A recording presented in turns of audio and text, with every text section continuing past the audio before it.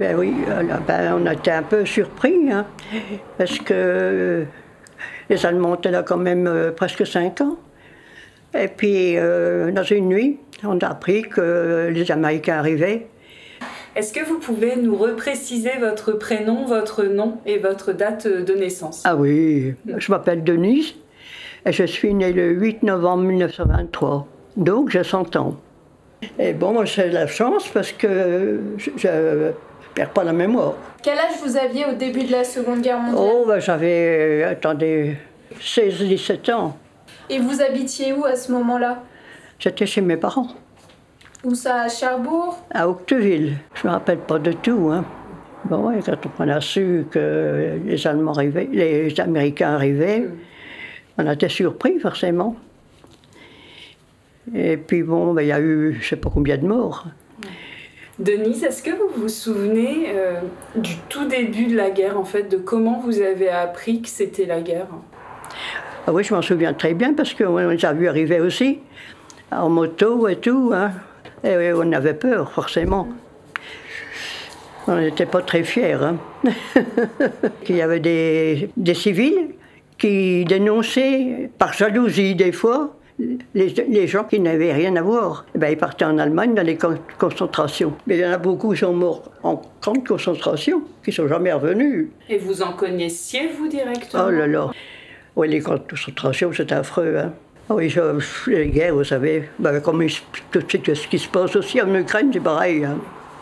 Denise, pour reprendre un petit peu le cours de notre interview, est-ce que vous pouvez nous parler de la vie quotidienne pendant la guerre, en fait? J'étais élevée en campagne. Bon, ben, on, travaillait hein, à ce moment-là, tout jeune. Hein. Mes parents étaient sur une ferme, alors j'ai bien travaillé. Hein.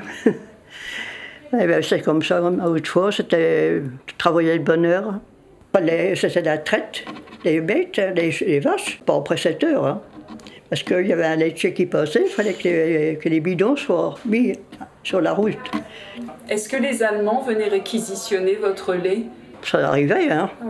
D'abord, on n'avait rien à dire. Hein. Il fallait faire comme il disait, hein. il fallait faire attention. Ah ben, 4 euh, ans sous la botte, et euh, la, ferme où étaient mes parents, c'était une grande maison. Il y avait un grand escalier en pierre euh, pour monter dans les chambres. Alors ils ont pris la maison d'un côté et nous, on était de l'autre côté. Ils ont pris le meilleur, forcément. Oui, une partie de la ferme a donc été réquisitionnée. Ah ben oui, c'est comme ça. On était euh, expulsés, quoi. Ah oui, on a vécu une drôle de jeunesse. Hein. Et au quotidien, vous arriviez à, manger à peu près Ah, ben, y avait, on avait la carte pour tout. Oui.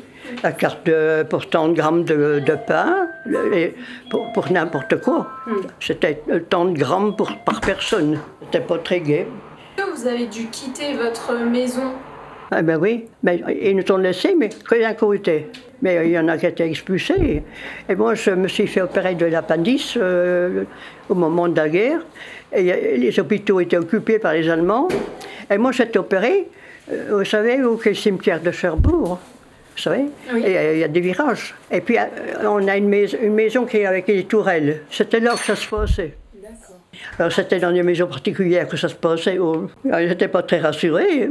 Et puis là, à ce moment-là, nous on dormait avec des grands trucs blancs. Et puis, il fallait respirer mm. pour s'endormir. Pas comme maintenant. Est-ce que vous avez été à l'école pendant ah. la guerre? Ah, ah, non, après, euh, parce que la guerre s'est déclarée en, en 40. Et moi, j'ai quitté l'école en 37-38 de bonheur aussi, mm. parce que mes parents avaient besoin de moi. Alors, je ne suis pas très instruite. Hein. À ce moment-là, hein, il n'y avait pas le choix. Mm. Pas comme maintenant. Ah, ben, la jeunesse autrefois, hein, c'était autre chose que maintenant. Hein. Puis, pas de sortir, rien. Il n'y avait pas de fête, il n'y avait rien du tout. Hein.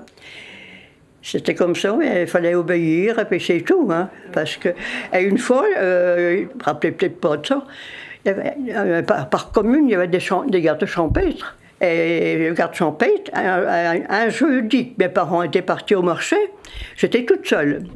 J'ai vu arriver le garde champêtre avec un, Allemand, un interprète qui savait parler français. Et mon, père et puis un voisin, ils ne voulaient pas mettre leur fusil à la mairie.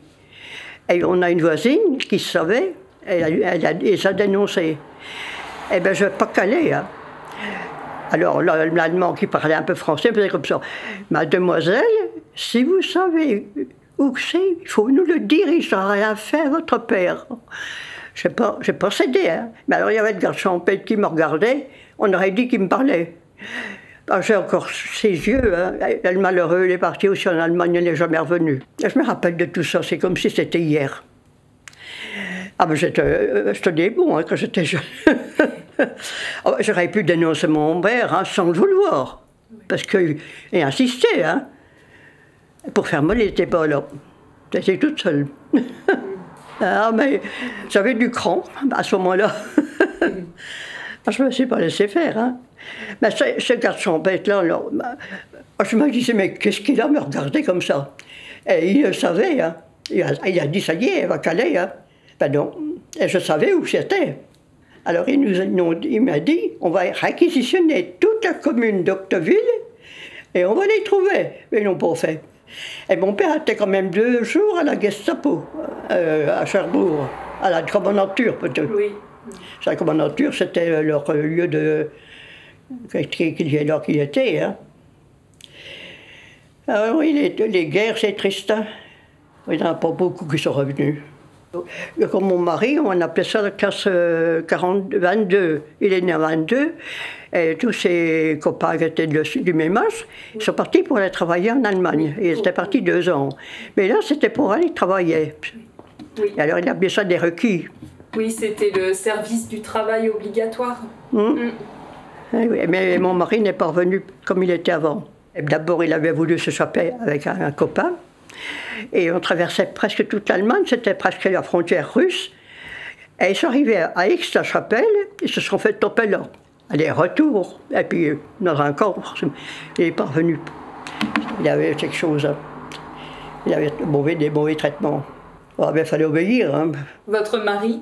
Ah oui? Vous le connaissiez oh, pendant ah, oui, guerre Vous vous êtes marié après? J'ai connu, j'avais 18 ans, et lui 19. D'accord. Et il est parti à 20 ans. D'accord. Bah, 20 ans de la guerre, euh, c'était ça. Et, on ne parlait pas de, de, se marier à ce moment-là. Hmm. Enfin, j'en avais qui se mariaient, mais c'était rare. Et je me suis mariée quand elle est rentrée, quoi. D'accord. Au, bout de deux ans. Et il y en a, il y en partis quatre ans, il y en avait bien d'autres qui étaient partis avant. Tout était interdit, tout, tout, tout, tout. Et puis alors la carte pour le pain, la carte pour euh, la viande, 200 euh, grammes, je crois, je ne me rappelle plus. Alors, il n'y avait pas gros, hein. Des chaussures, on n'en trouvait plus, on ne trouvait plus de vêtements. Quand je me suis mariée après la guerre, les chaussures, c'est pareil, hein. c'était des semelles en bois, mais alors des petites lattes, vous savez, pour que ça plie un peu. L'habillement, c'était rare. Moi, je me suis mariée en tailleur, il n'y avait pas de robe blanche à ce moment-là, il n'y avait rien. Et je rappelle une fois, il y a une dame, c'était la, la receveuse des postes d'Octeville. Elle était réfugiée chez mes parents, parce que toutes les nuits, il y avait les Anglais qui venaient, qui nous bombardaient. Enfin, c'était pas pour nous, mais c'était pour les Allemands. Mais des coups, les bombes tombaient n'importe comment parce que eux, ils sauvaient aussi. Hein. Quand, ils voyaient qu'ils étaient en danger, ils lâchaient sur n'importe comment. Hein. Et cette dame-là, elle était venue chez mes parents. Et un, matin, il y a un monsieur qui est venu. Alors, il y avait des grands jerrycans d'essence dans la cour. Euh, il nous dit comme ça si une bombe tombe là-dedans, vous êtes tous cuits. La dame a pris peur. Elle est partie à la Fouèdre, je ne sais pas si vous avez connu la Fouèdre. Elle était à peine arrivée, elle s'est faite tuer là. Est-ce que vous avez des souvenirs particuliers de la libération de Cherbourg? La libération de Cherbourg, euh, pas tellement. Hein. Oh, je me rappelle quand il était qui m'occupait la maison, on était bien gardé parce qu'il y avait une sentinelle qui avait un trottoir face à la maison. On entendait les bottes toute la nuit. Là, on était bien gardé. Assez bizarre. Hein. Je me rappelle mieux de l'arrivée des Allemands que des Américains. Je sais pas pourquoi. Et puis alors on avait peur, hein, parce que euh, mon père avait fait la guerre de 14, c'est pareil, il nous disait que c'était pas facile. Hein. Alors quand, mon père a, vu qu'il est arrivé, il a dit vraiment, c'est affreux. Et puis maintenant on est des amis. C'est peut-être aussi bien, vous allez me dire, que tu es ennemi. Pendant la guerre. C'était quoi votre rêve à vous? Oh ben, vous savez, on rêvait que ce soit fini. On rêvait, on disait, mais quand est-ce que ça va finir? Alors, On a vécu quatre ans comme ça, sous, la botte allemande. C'est pareil, il y avait des femmes qui, étaient avec eux. Alors, euh, c'était plutôt triste. Hein. Ils faisaient la, la avec eux. Hein. Et quand les Américains sont arrivés, tous ceux-là qu'on a reconnus, ils ont mis dans un camion et les ont rasés. Il n'y avait plus de cheveux du tout sur la tête. Hein. Et ils les promenaient dans les rues. Oh là là, affreux. Et les femmes qui faisaient ça, et ils ont mis dans des camps du côté de Tour-la-Ville. Il y avait un camp pour, pour ces femmes-là.